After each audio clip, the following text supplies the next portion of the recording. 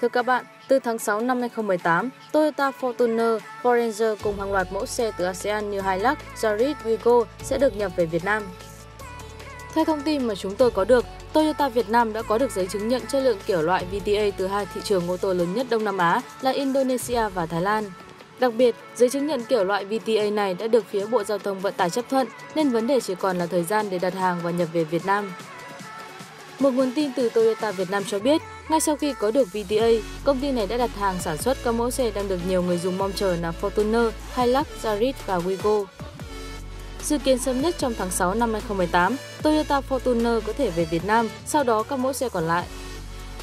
Thời gian từ khi đặt hàng đến khi xe có thể về Việt Nam khoảng 2 đến 3 tháng, nên sớm nhất là tháng 6 xe sẽ về Việt Nam, nguồn tin này tiết lộ. Được biết, trong số những mẫu xe nhập khẩu của Toyota Việt Nam thì Fortuner là mẫu xe có doanh số lớn nhất, trung bình lên tới hơn 1.000 xe mỗi tháng trong năm 2017 vừa qua. Tuy nhiên, do quy định mới của Nghị định 116 cần VTA nên từ cuối năm ngoái tới nay, không một chiếc xe Toyota Fortuner nào được nhập về Việt Nam và bỗng dưng nhiều xe SUV như Mazda CX-5, Honda CR-V, Hyundai Santa Fe hưởng lợi. Đáng chú ý, nhờ được hưởng thuế 0%, giá Fortuner dự kiến sẽ giảm từ 100 đến 150 triệu đồng so với mức trên 1 đến 1,1 tỷ đồng trước đây, khiến cho sức cạnh tranh và doanh số của mẫu xe này có thể tăng vọt. Cũng theo tìm hiểu của chúng tôi, ngoài Toyota, Ford Việt Nam cũng đã được chấp thuận VTA và mẫu xe chủ lực Foranger sẽ được đưa về Việt Nam trong tháng 6 tới.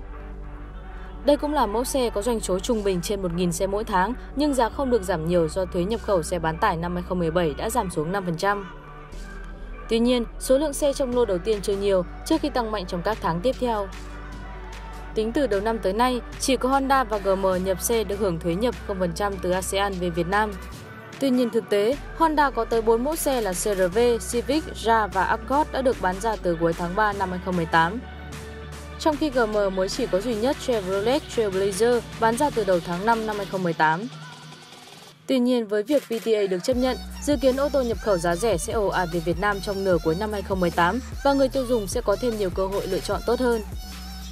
Riêng VTA từ Nhật Bản vẫn chưa được cấp vì nước này không cấp cho xe xuất khẩu, khiến cho thời điểm các xe nhập khẩu từ Nhật Bản như Toyota Land Cruiser và đặc biệt là Lexus vẫn còn rất mù mịt.